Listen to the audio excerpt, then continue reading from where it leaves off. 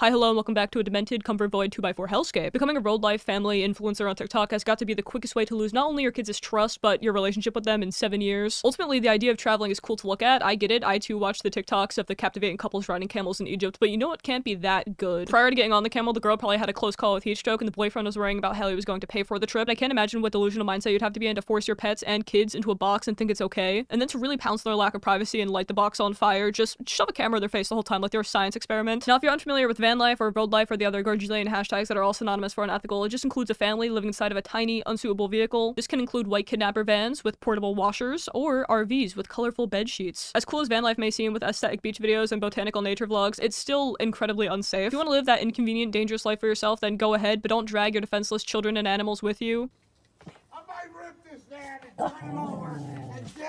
Why did he, uh, Why'd you choke out the dog like that? How dare you try to speak, you privileged and pampered luxurious animal who's trying to defend us against the homeless people trying to fight? Yeah, I don't know. I think we should annihilate all things that present natural instincts. Uh, if I hear one meow out of my cat's mouth, she's going down. The parents who are responsible for all of this just feel like mentally stunted children who want to live in DIY tents all day and never go to school, which is a fine mindset for a kid, but then there comes a time in life where you're an adult now, so you have to put your kids first and not your unachieved dreams, which you're forcefully pushing onto them and then vicariously living through. It's irresponsible and setting them up for failure. This whole thing really just feels like a dystopian parenting guide that some blonde soccer mom would sell for $50 on Etsy.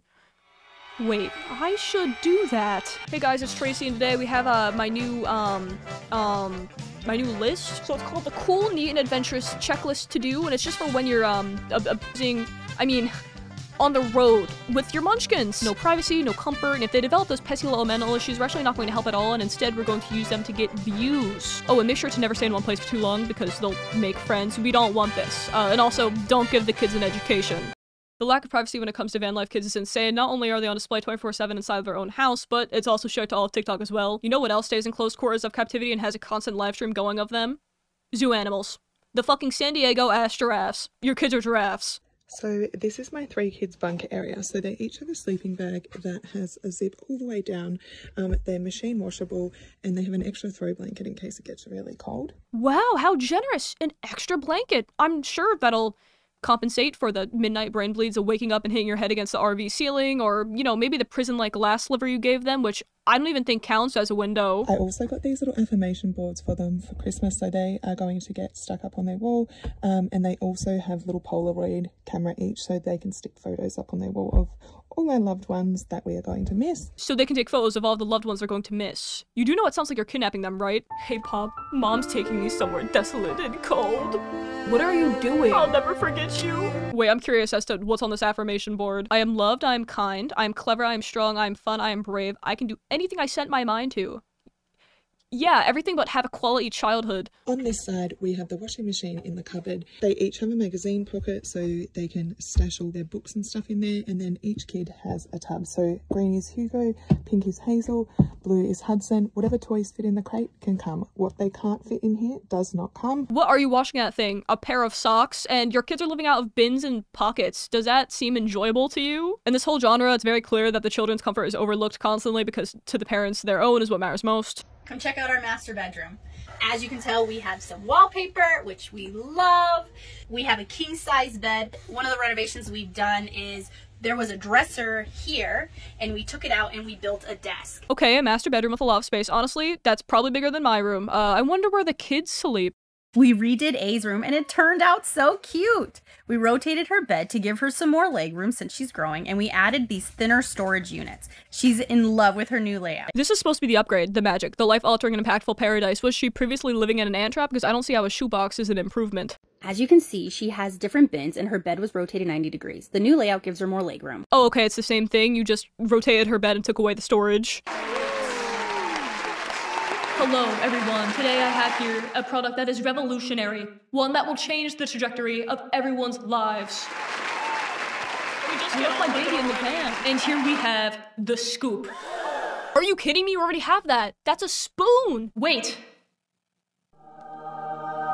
Oh my god. Now that we're well acquainted with van life families, it's only fair that we cover Red, White, and Bethune. Probably not saying that right before moving on to uh, what I deem to be the worst of the worst. For some reason, this account contains a high volume of the mother's feet, uh, which I normally would not point out, but The amount is alarming. Saturday mornings are my favorite because there's nothing to do. So his family consists of mom, dad, three kids under the age of 12, and four dogs. The kids are all unschooled, there's no timeline to stop RVing, and the parents are only doing it to be unique. It was an impulse decision. Full time for us, we just felt like we needed to live every moment like it was our last. You know, you only get one life. I know we say YOLO a lot with our bad decisions. We came back from a summer trip and Kyle came up to me and was like, hey, let's just sell it all and move into the RV. And I daydreamed about it for two weeks. And then I went up to him and said, all right, let's do it.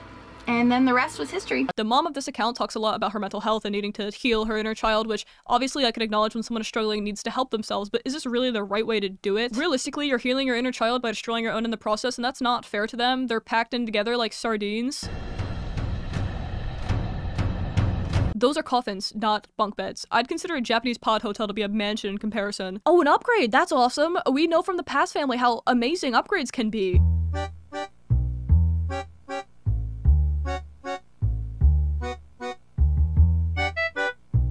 That One Piece? I'm gonna phone the police just for that.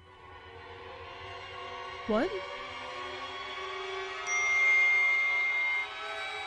No. No, but this was not an upgrade. They're still being hidden away like objects in a storage cabinet. After looking at that, I'm starting to feel a little bit claustrophobic, but thankfully the mom has a breathing tutorial. Let's add a tool to that mental health toolbox, or MHT. The first tool we're going to be adding is called breathing. Okay, I've never heard of that one before. I know it sounds really, really simple, but it's the easiest thing that you can do in the moment to help bring your anxiety down to a manageable level so that way you can think clearly again. I'm not sure if I want to take advice from the woman who treats her kids like Legos, but why not? Inhaling through your nose for five and a half seconds and exhaling through your mouth okay, this isn't going to work. I have the same breathing pattern as an asthmatic hamster. They willingly recorded, edited, and then posted a video of their daughter doing a day in the life, and it looked so horrible. She wakes up and walks one foot to the bathroom where she gets ready for the day and is also probably traumatized by people taking explosive fat ones right next to her head. She gets dressed, eats cereal, walks one of her dogs, pretends to do some sort of school. There is nothing on that paper. Swings around. Do a little reading on the iPad? No, she doesn't. If you think she picked that thing up and started reading a book, you're more delusional than I thought. If she were doing any reading, it would be on how to escape purgatory. She then climbs into her shelf and goes to sleep with one meal for the whole day. The mom is very persistent in trying to prove how much her kids love and enjoy van life. Uh, and to this, I say the same I have in other videos of mine, specifically with the Norse nuts, and it's just, this is just conditioning. You're pushing your beliefs onto young impressionable children who don't have anything but you. Obviously, they're going to think that this is okay and normal. They don't go to school, they're only in a van, they have no friends at all, and when they do have friends, it's also kids who live in vans. They're creating an atmosphere where the kids are entirely trapped. They went back home for the winter to visit family, and the mom looked everywhere for her kids, but they were nowhere to be found. Her big obnoxious mic drop moment was showing us that even though the kids had a whole house to roam around in, they still decided to stay nestled up back in the van. Surely it's not the PlayStation or Fortnite keeping him there or anything. We're now going to move on to Family of Nomads, which I would consider to have the most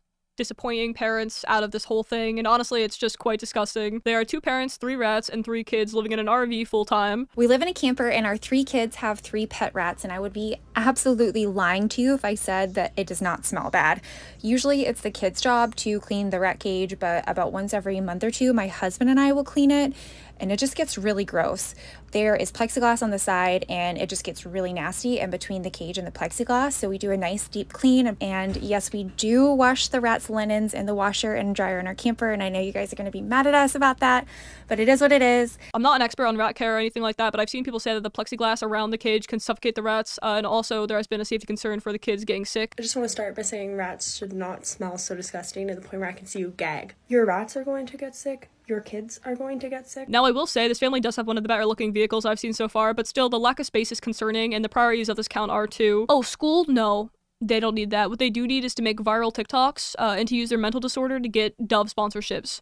How else will this family thrive? It's quite ironic how the ad is for children's safety online, yet the mother puts her children in danger every day. The mom like she's the victim and will repeatedly make her child's disorder about her. With Addison specifically, they're currently going through a mental health crisis and have been for a while now, and I don't think using their eating disorder to get clicks on an ad read is the best way to go about helping. The parents aren't educated at all and are worsening Addison's problems by being on the road. The ceiling of an RV is not a bedroom, and Addison's struggles are not being alleviated by the arrangements. Eating disorders feed off of not having privacy, consistency, and stability because it's a way to have control, and by not providing those things, you are currently sabotaging their welfare. The mom posts these blog like updates on Instagram where she doxes her children, mainly Addison, in such a weird drama tea spill channel way. She'll expose an insane amount of information, compromising her kids entirely, and then end it on some sick and twisted cliffhanger. Double tap to let IG know you want to keep seeing more of our story each day, and check back tomorrow for part four. Come back tomorrow for part five. I'm not going to be showing these posts in depth because I think it's extremely uncomfortable that she's willing to put this out in the first place. Um, but this is just a little preview of what type of information she's willing to leak to the public. The mom actually blames Addison getting mono when they were younger as the culprit for their collective mental illnesses instead of just listening to the professionals, which were telling her that was her fault and poor parenting. Now, Addison is currently in treatment, so we don't have any recent updates for how they're doing, but hopefully this may serve as a wake up call to their family and also the other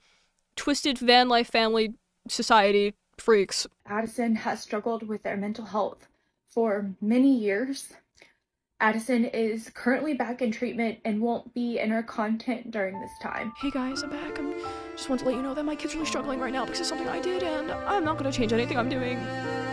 And I can't believe they have an eating disorder. It had to have been the mono. Alright, that's it. I'm done with all that now. Life, life updates. Nobody cares. No more hiatus. I'm back for real this time. Frequent posting again, streams, all of that. Uh, here's Twitter. If you anyone wants updates, you can do an update. You can do a DM. You can fight. You can just actually follow it if you wanted to. You can really just follow that if you really wanted to right now. You could buy